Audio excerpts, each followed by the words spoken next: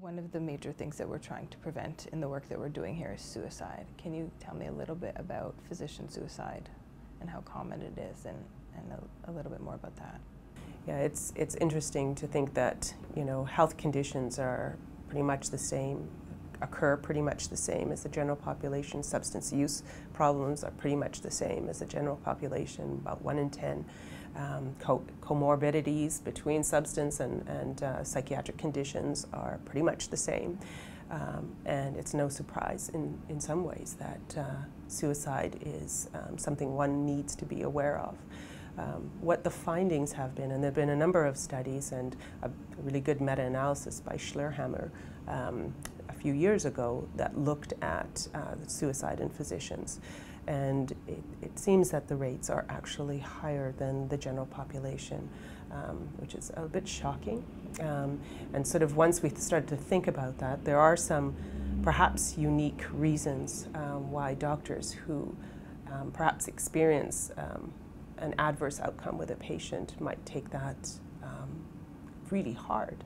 Um, and together with having a condition that wasn't treated, um, might elect for suicide. In, what we find is that, or what was found in that paper, was that um, men are just above the general population, of the highest risk in the general population. Um, females are higher by about three times than the uh, general population for women, um, and uh, female doctors will commit suicide um, at a younger age, uh, whereas men tend to commit suicide a bit older. Um, so, you know, it, it is a, I think, a, a, a, serious condition that we have to always be considering. Um, unfortunately, we look at having a suicide uh, for sure every year, and that's sobering, you know. And this happens as trainees, and this happens as independent docs. Um, doctors also have the means, so perhaps they're uh, more likely to be successful um, than not.